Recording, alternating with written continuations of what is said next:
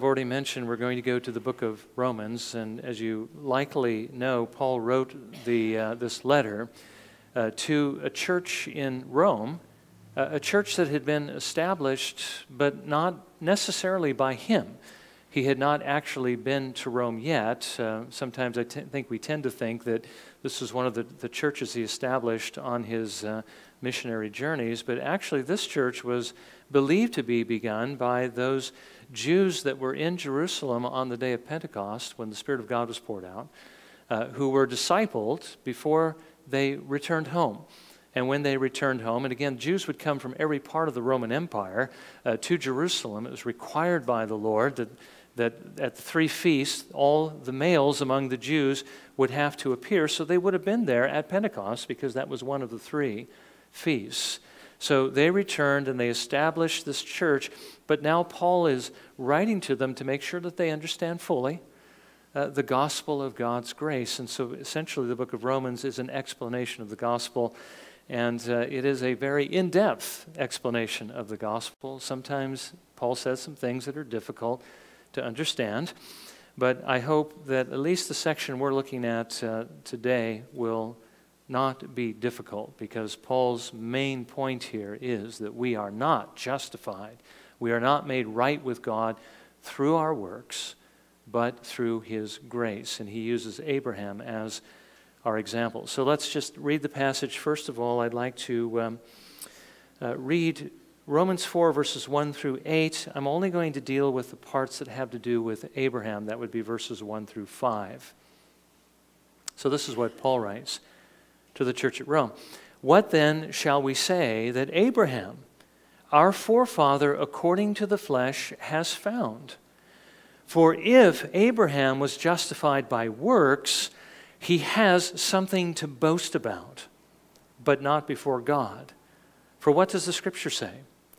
Abraham believed God, and it was credited to him as righteousness. Now, to the one who works, his wage is not credited as a favor, but as what is due. But to the one who does not work, but believes in him who justifies the ungodly, his faith is credited as righteousness. Just as David also speaks of the blessing on the man to whom God credits righteousness apart from works. Blessed are those whose lawless deeds have been forgiven and whose sins have been covered. Blessed is the man whose sin the Lord will not take into account. Uh, may the Lord again bless his word to our hearing uh, this morning.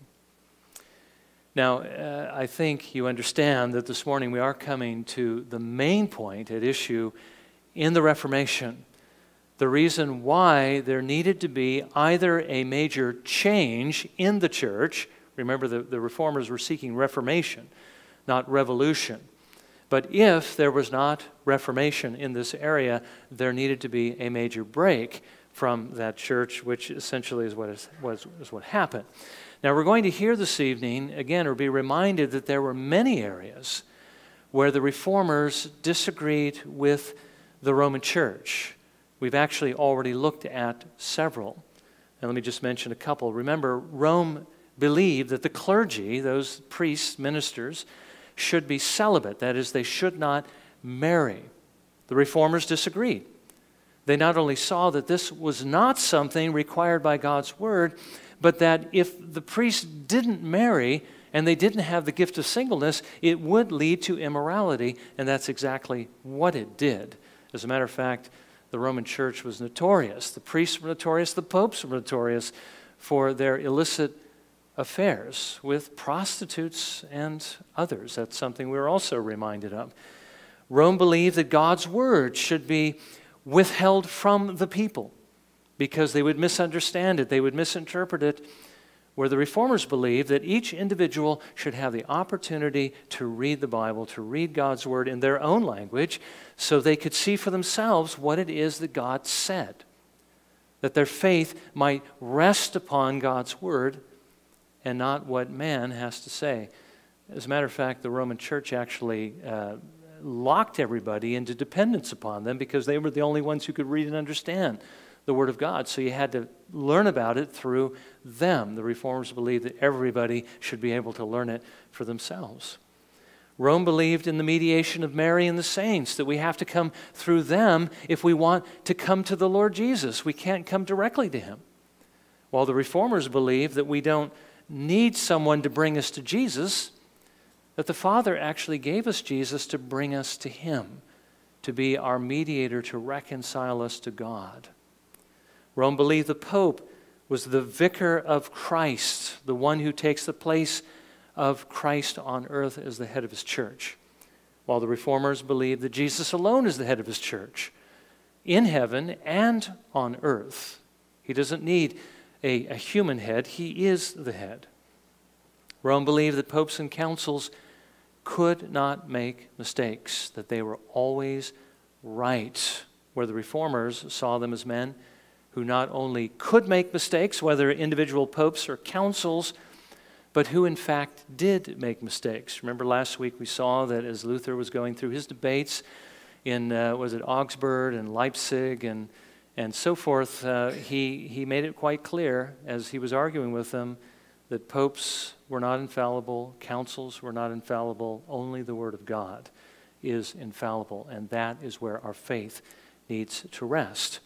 They disagreed over purgatory, the real presence of the body and blood of Jesus in the Mass. The reformers reject that idea. And of course, they disagreed over many other things. And those disagreements actually still exist.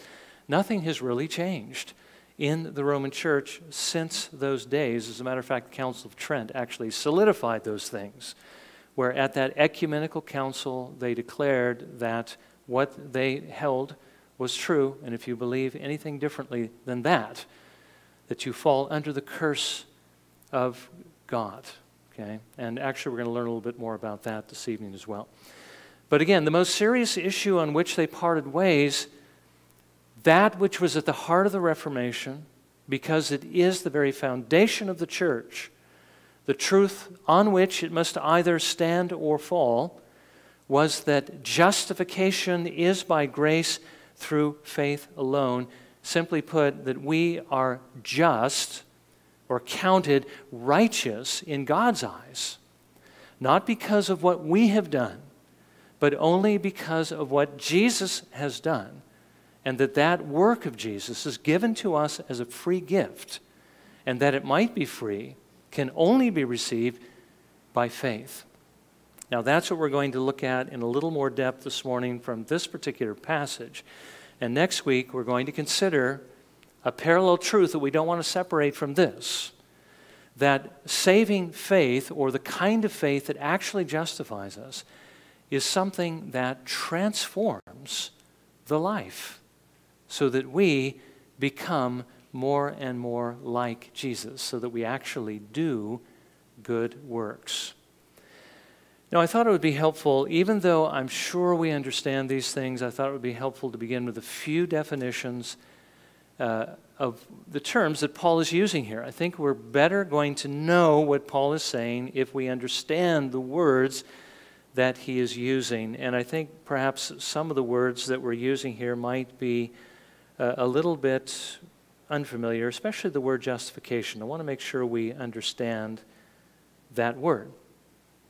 Now, R.C. Sproul has already noted in the Reformation series that the word justification, even though the word itself actually means this, to make righteous, that that is not what is behind the Greek word that is translated justification.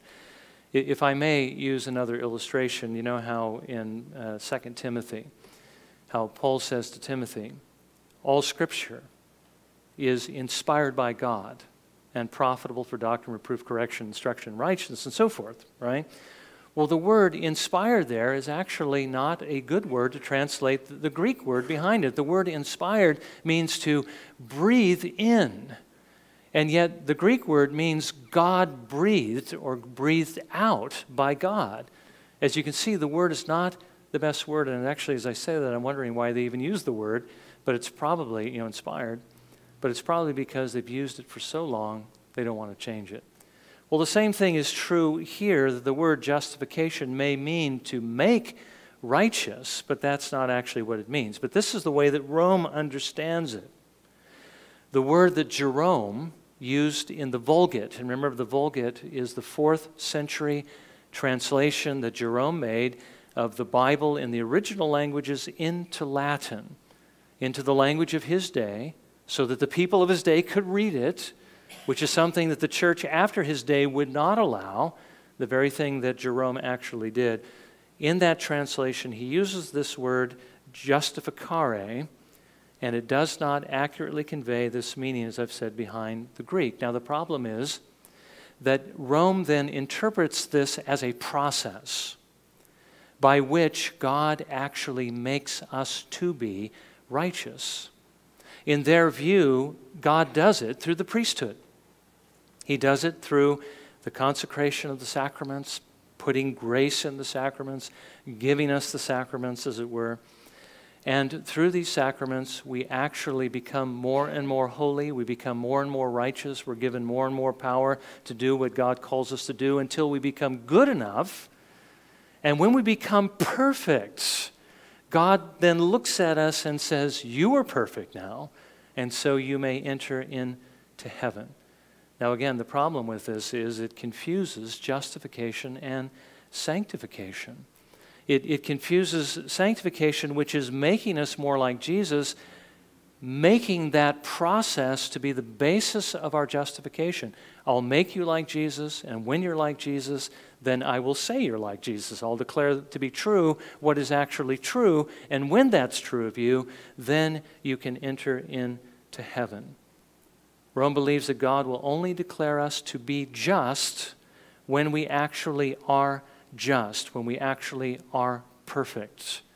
And if we don't reach perfection in this life, then, and again, the vast majority of, of Christians in their view will not, then we will have to become perfect in purgatory. And that may take millions of years. Now, the Greek word, though, does not mean to make righteous. That's not what it means. It, it really means God declares us to be righteous. God declares us to be just. He says we have done everything right and nothing wrong, not because that's what we've actually done, but because this is what Jesus has done in our place. We just read in here that God, he says, but to the one who does not work, but believes in him who justifies the ungodly. See, he doesn't declare just those who are just, but he declares just those who are still ungodly. He says his faith is credited as righteousness. And that's what we're going to look at, of course, this morning. God declares us to be just not because we personally are righteous and just, but because Jesus is and he has given to us his righteousness and his forgiveness. That's really what the gospel is all about. Now, two more words we need to understand, of course, are works and grace. Works, we know what works are, those are the things we do. Our obedience to God's law, our acts of righteousness, our devotion to the Lord. Rome says that's how we actually reach justification. But Paul tells us that that isn't. Those, those cannot our works cannot make us righteous, and we're going to see why. And of course, we're familiar with grace God's unmerited favor, unearned favor, something He freely gives us that we have not deserved, that we do not earn. Now, again, I would remind you that this word is most often used in the Bible to refer to God's giving something good to those who deserve really the opposite not giving good to people who are neutral, but rather giving eternal life to those who deserve eternal death. We deserve destruction, but God gives us life. So He gives us something good when we deserve something bad. And then finally, there's the word faith or the word believe. And here we do need to be careful because we need to understand it as the Bible you know, understands it.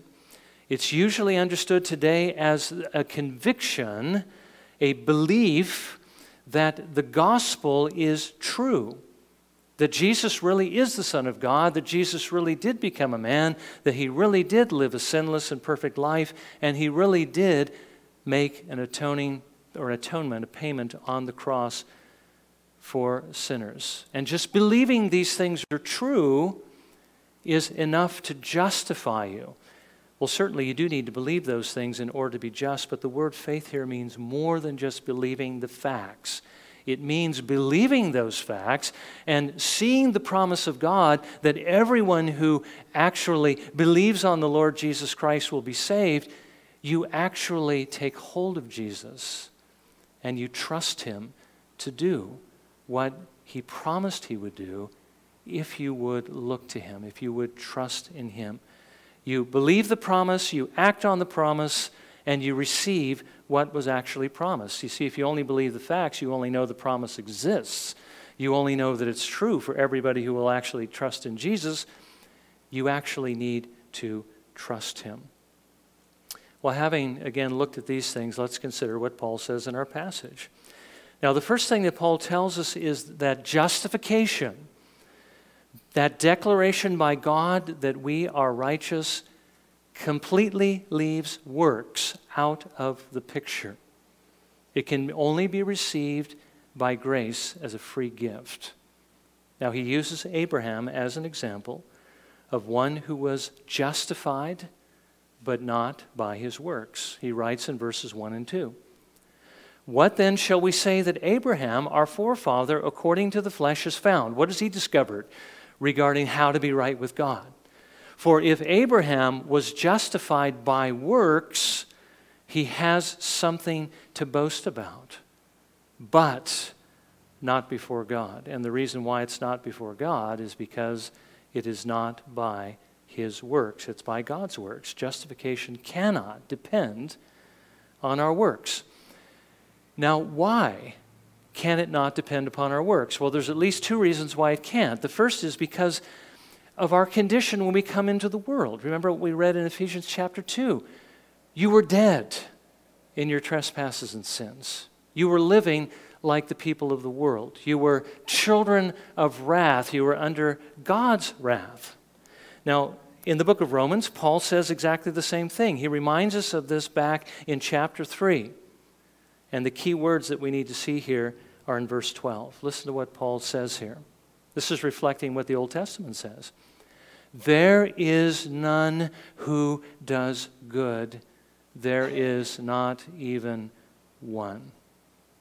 Now, that's why we can't be saved by our works, is because there is nobody who actually does good works. There is none who does good.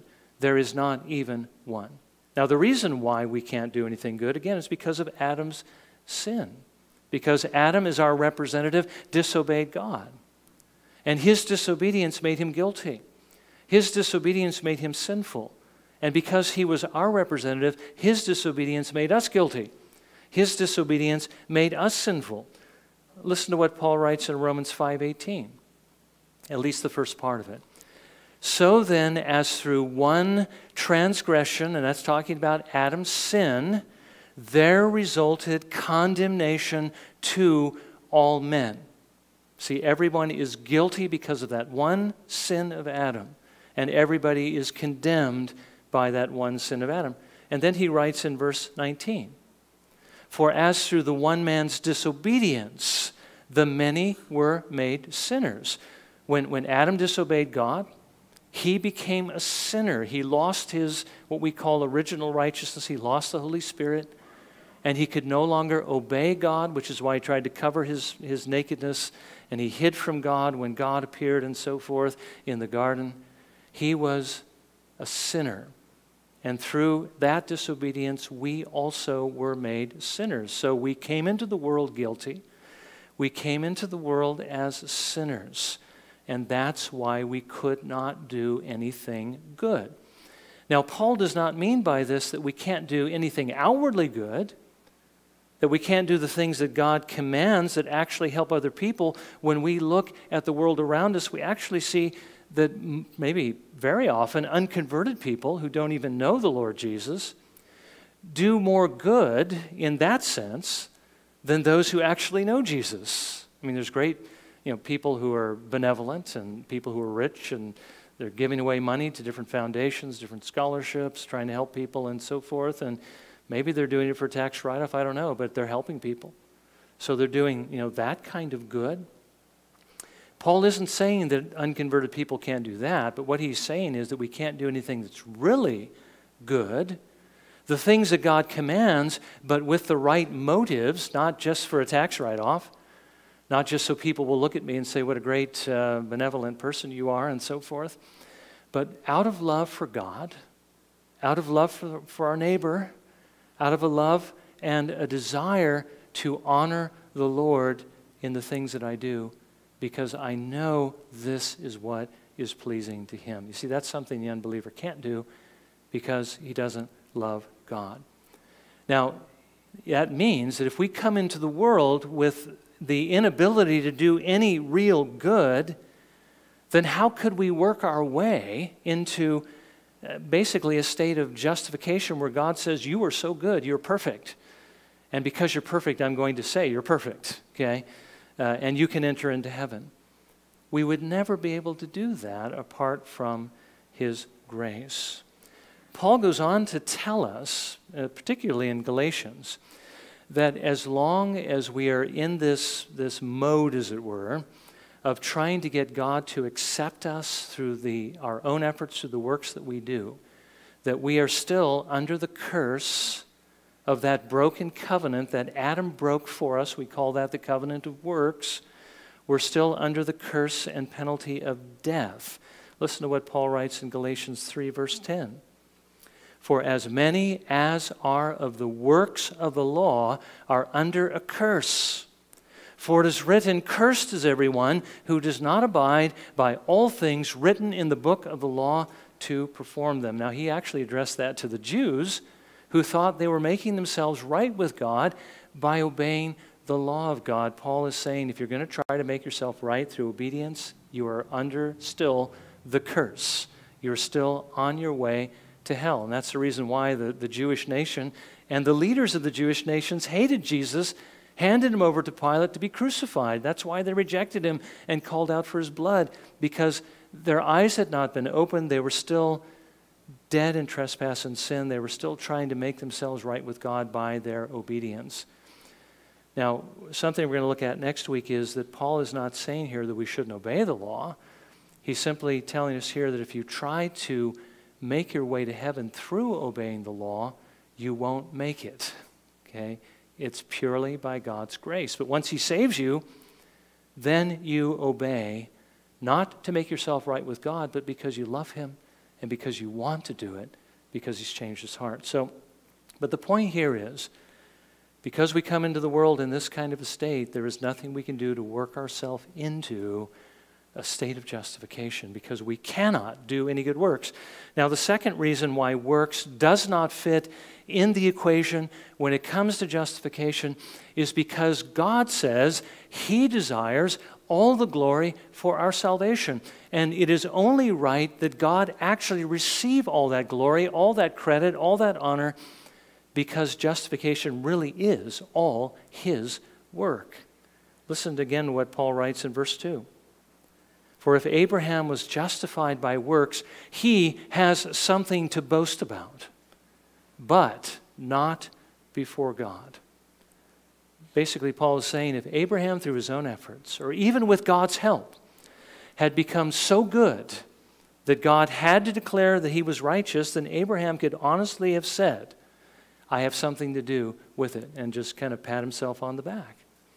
But Paul's point is he cannot say that for the reasons we've already seen. He had no part in his justification. That was purely of God's grace. We have no part in ours. It's purely of his grace. There was a monk and a theologian who lived in the fourth and fifth centuries whose name was Pelagius. And he read the Bible and, and he came to the conclusion that all Adam really did to us when he sinned in the garden was give us a bad example. That was bad, Adam. That was a bad example. And so he said to the people whom he taught, Don't follow Adam's example. Don't do bad things the way that he did. Instead, follow Jesus' example. He gave you a good example. And if you just follow his example and live a perfect life as he lived, you will be justified, you will go to heaven. Basically, Pelagius was saying, You do it all by your own works. But you know what? There was another theologian who lived in his day by the name of Augustine, and you've perhaps heard of him. Uh, Augustine is somebody that we have a very high appreciation for. Not everything that he wrote, but certainly a lot of what he wrote. Augustine rejected Pelagius' view because of what Paul says here and elsewhere in the Bible. Pelagius implies that we not only contribute something to our salvation, but we contribute everything to our salvation. God only gives us a good example, but that's all He gives us, and that absolutely robs God of His glory. You know, any view that leaves room for any contribution on our part towards our justification is wrong because it takes away something of God's honor and gives us a reason to boast, to pat ourselves on the back. Now, Paul says further that to add our works, any works, any contribution on our part to the work that he has done through the Lord Jesus Christ is actually to destroy grace. Remember how we saw works and grace are opposites. It cannot be both. It has to be one or the other. They cannot exist together. Romans 11, verse 6. But if it is by grace, it is no longer on the basis of works. Otherwise, grace is no longer grace. Works destroys grace. Now, if you understand that, then you can understand why Paul wrote to the Galatians this very thing that to add anything to the righteousness that God provides in the Lord Jesus Christ as the reason why he should declare you to be just, he should justify you, is not just to fall partly away from the Lord, but it is to fall entirely away from him because it destroys the grace of God. Listen to what Paul writes to the Galatians in Galatians 5, verses 2 through 4. He says, Behold, I, Paul, say to you that if you receive circumcision, Christ will be of no benefit to you.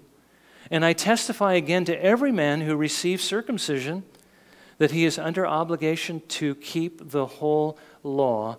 And then notice, you have been severed from Christ. You who are seeking to be justified by law, you have fallen from grace. Whenever you turn to works, you're turning away from grace, you see. You destroy the grace of God. You have fallen away from Christ as the only grounds of justification. Now, the reason why Paul said this is because the Galatians or the Judaizers who were trying to teach the Galatians this view were saying that Jesus isn't enough. You also need to be circumcised to be saved, to be justified in the sight of God. Paul took Timothy on another occasion and he actually had him circumcised so that when they traveled through the Roman Empire and went into the Jewish cultures and so forth, they wouldn't be offended by the fact that Timothy, whose mother was a Jew, was uncircumcised. Now, there was nothing wrong with doing that, but that's because Timothy was not trusting in his circumcision to save him. He was only using it as a tool to witness to the Jews. So there was nothing wrong with the circumcision itself. I mean, in our culture, many of the male children that are born are actually circumcised. Does that mean we've fallen away from Christ? No, but it's when you add it to the work of Christ, and that's what they were doing here. Now, if that's true of circumcision, what would Paul have to say about what Rome adds to the work of Jesus Christ? Now, that's something we're going to look at this evening, but that's the question we want to ask. Have they added our works to salvation? The answer is yes. And in doing that, they have actually destroyed the gospel. And you're going to hear R.C. say some words about that this evening.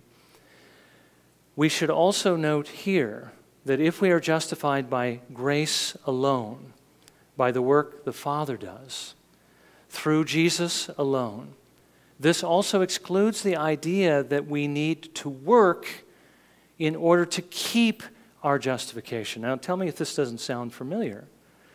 This, this was Charles Finney's view, but I want you to notice that there's a lot of churches who actually believe this today. Charles Finney taught that we are saved, that we are justified by believing in the Lord Jesus. But he also believed that being justified, if we step out of line, if, if we get off the line of perfection and we step to one side or the other, even to the slightest degree, even for a moment, we lose our justification and we have to be saved again. We're only justified as long as we live a perfect life. So I may be justified by the grace of God, but I have to keep my justification now by living a perfect life. Now, let me ask you, what does that do to the principle of justification? By grace alone, right? The Bible says that if we trust in Jesus, we are justified. And if we are justified, we will never lose that justification, but we will actually be glorified. We will reach heaven. Now, Paul writes in Romans chapter 8, verses 29 through 30, that very thing. He says, For those whom he, that is God, foreknew, he also predestined to become conformed to the image of his Son, so that he would be the firstborn among many brethren. And these whom he predestined, he also called. And these whom he called, he also justified. And these whom he justified, he also glorified. Now, again, if, you, if, if we had time to explore this a little bit further, I want you to notice that whoever comes in at the front makes it all the way to the end. There's no slippage in these categories. Paul doesn't say, some of those whom he foreknew, he predestined. Some of these he predestined, he called. Some of these he called, he justified. Some of these he justified, he glorified. But he says, everyone. Everyone who is in one category is picked up and brought into the next category. And I want you to notice that these whom he justified, he also glorified. And that means that if you are just, if you're justified by trusting in the Lord Jesus Christ, that you will reach glorification. Paul goes on to say in the same chapter that there is nothing in heaven or earth that can possibly stop that from happening, nothing that can sever us from the love of God which is in Christ Jesus, that even we cannot sever it through our sins. And we wouldn't want to because the Lord has changed our hearts. So, again, the point is this justification that declaration by God that we are righteous does not depend upon what we do, it depends on what Jesus has done, on his perfect righteousness. He's the one who obeyed, he is the one who died so that he might justify all who trust in him. And that really brings us to the last point. If justification is not by works, if justification is by grace alone, if God gives it as a gift, purely by his, you know, his sovereign good pleasure, so that he alone receives all the glory, then it has to be something that we receive, not something we work for. It has to be something we receive, and the only way we can receive it is by faith. Listen to what Paul writes in Romans 3:27. Where then is boasting? It is excluded. By what kind of law? Of works? No, but by a law of faith. And then he writes, as we've already read in Ephesians 2, verses 8 and 9 For by grace you have been saved through faith, and that not of yourselves. It is the gift of God, not as a result of works, so that no one may boast. Okay, we've already seen it's not of works. We can't do good works. If we could, we might have something to boast about, but we can't, so we have nothing to boast about. God has done it all, so it is His gift. But notice, we've been saved by grace, but it's received by faith. And faith is the opposite of, of, of basically anything we do. Faith is looking away from what we do to what Jesus has done. Now, Paul tells us that this is exactly how Abraham received the righteousness of God. He received it by faith. He writes in verses 3 through 5 of Romans chapter 4 For what does the scripture say? Abraham believed God, and it was credited to him as righteousness. Now, to the one who works, his wage is not credited as a favor, but as what is due. But to the one who does not work, but believes in him who justifies the ungodly, his faith is credited as righteousness. Abraham believed. Okay, again, he didn't believe the facts, but he actually trusted. Now, what is it that Abraham actually believed? Uh, some believe it was just, you know, the, the bare promise of God that he was going to bless Abraham, make him the father of many nations, and that through his seed all the nations would be blessed. But it's actually more than that.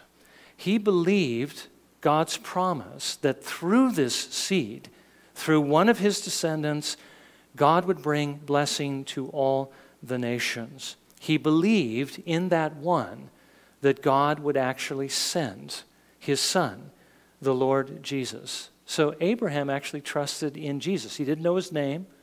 He didn't know everything he was going to do. He only knew him as the seed that was going to come from him through whom all the nations would be blessed. But he trusted in that seed. You know, Jesus actually said as much to the Jews in John 8, verse 56. Said to the Jews, Your father Abraham rejoiced to see my day, and he saw it and was glad. That, that's exactly what Paul is talking about here how Abraham saw Jesus Christ. He saw Jesus through the promise of God, the promise of the Messiah, and he believed and he was glad because he was saved. He was declared just by the one who justifies the ungodly because of the righteousness of Jesus that was given to him by faith. Now, again, here's something we have to be careful of because there are some who believe that when Paul says that Abraham's faith was credited to him as righteousness, that what he meant was this that God counted his faith, his act of believing, as an act of righteousness that justifies. In other words, he, he declared that Abraham was just and righteous on the basis of that righteous act that he had just done. He believed God. Now, if that is really what Paul meant, then he's actually undercutting everything he just said. We're not saved by works. We're not saved by anything we do. We are saved by trusting in the Lord Jesus. That's what faith is. Now, as I've said, faith is the opposite of works. I mean, what is saving faith? It's not, again, something I do that God looks at and says, Good boy, good man, you did the right thing, and you did a righteous act, and so now you are righteous.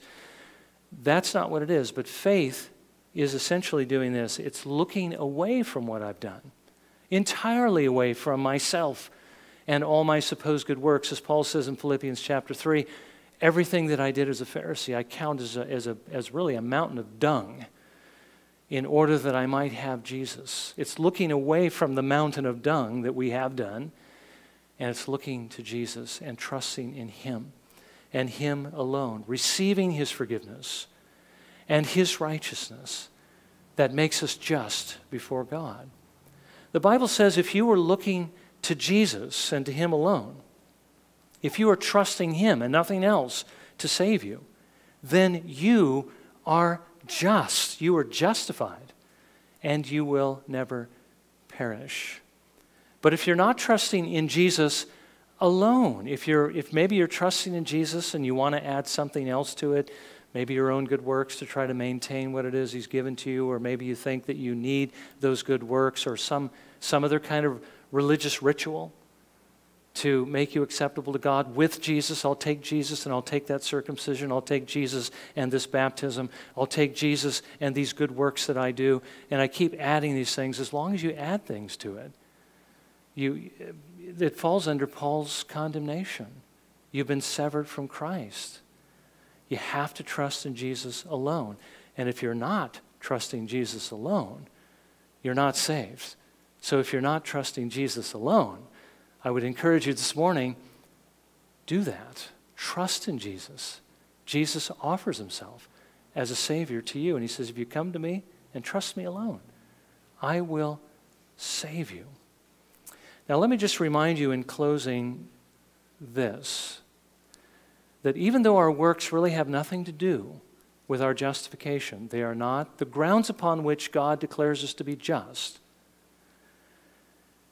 Since it has nothing to do with it, it doesn't mean they're unimportant. We really cannot know that we have been justified, that we have really trusted in the Lord Jesus Christ, unless we see the evidence of good works in our lives. Good works are important. We're not saying you can live any way you want to and still go to heaven. That's not what the Bible says.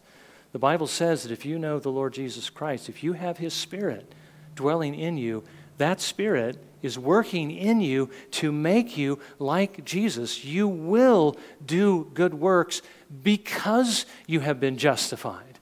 And if there are no good works, there is no justification. There is no salvation. The Reformers put it in this way We are justified by grace through faith alone, but not by a faith that is alone. It will always be accompanied by good works. Sanctification does not bring justification, but sanctification or being made like Jesus will always follow it. And that's what we're going to look at next Lord's Day. But again, I wanted you to have this framework, to have this stuff fresh in your mind, because this evening we're going to be looking at the Roman Catholic view that Luther was reacting against and why it was wrong. And I think it's clearly it's clear to see why it's wrong when we look at the scriptures and we see that works are entirely excluded. So this evening let's consider what are the works that are being added to justification that actually destroys the gospel. And understanding that, let's reach out to those who are in the Roman church. Let's pray for those in the Roman church that they might see the truth, even as Luther did, who was in the Roman church in those days, studying the scriptures. The Lord discovered it to him. Let's pray the Lord will show them his truth through his word that they might come to know him. By the way, one thing that did change in Rome is they do finally provide the Bible in the language of the people. So that's one thing, one good change has taken place, which means they can read and they can see. So let's pray that they will read and that by God's Holy Spirit, He'll lead them to the truth. Well, let's, uh, let's bow for a moment of prayer, shall we? And, and let's ask the Lord to help us examine our hearts as to whether or not we're trusting Jesus and trusting Him alone.